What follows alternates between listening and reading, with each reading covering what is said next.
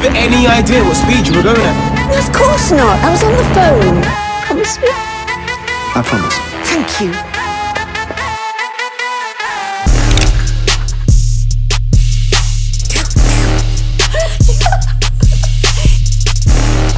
You're so